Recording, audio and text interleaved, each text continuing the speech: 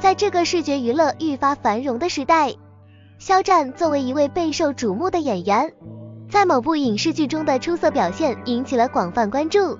文字中描绘的他笑容宠溺、眉眼含笑的形象，尤其是在扮演柯举文男主角时，为观众勾勒出一位深具魅力的男主形象。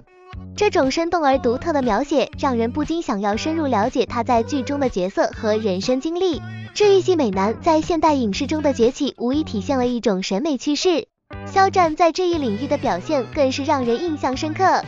文字中所提到的治愈系美男的吸引力。以及观众对顶流的认可，似乎将肖战在剧中的形象与当下观众的审美去向相得益彰。这也许是因为治愈系美男所散发的温柔、安抚情感，能够在观众中引发共鸣，成为一种心灵的慰藉。而剧中的首府大人的小娇妻，由张婧仪扮演，她在剧情中展现的破碎感，给整个故事注入了一抹情感的厚重。文字中对她角色的描述。或许反映了她在剧中的扮演不仅仅是一位表面的角色，更是一个内心充满波折和情感纠葛的人物。这样的描写无疑会让观众对故事中的人物命运产生浓厚的兴趣。油壶妆造的描写则着重表达了他外貌的嫩感，尤其是在粉衣的衬托下更显动人。这种对外貌的赞美，或许反映了现代观众对于美的标准。也同时凸显了肖战主演的影视剧在形象设计上的精心安排。在这个观众追逐娱乐的旅程中，肖战的才华和形象塑造成为引导我们深入故事世界的钥匙。他所饰演的角色以及其他演员的表现，不仅仅是一场视觉盛宴，更是对生活多彩层面的观察。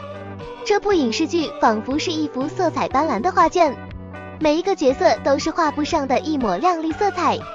在观众与娱乐之间建立的这座桥梁上，我们感受到了治愈系美男的温暖，体味到了剧情中人物的命运交织。通过作者对于外貌、演技和剧情的描写，我们仿佛走进了一个梦幻的世界，与角色们一同经历欢笑、泪水、爱情和冒险。作为观众，我们对演员的期望也成为这场娱乐之旅中的一部分。对于一月份三无男演员的不满。以及对于演员演技和外貌的高标准，表达了观众对于优质娱乐的坚持。这种观念或许是对于艺术的追求，也是对于表演者在塑造角色时责任的体现。在这个浩瀚的演艺海洋中，肖战的表现如同一艘引领方向的船只，带领着观众驶向梦想与现实交汇的彼岸。而对于老三中的宋阳的赞誉，则是对整个团队努力的认可。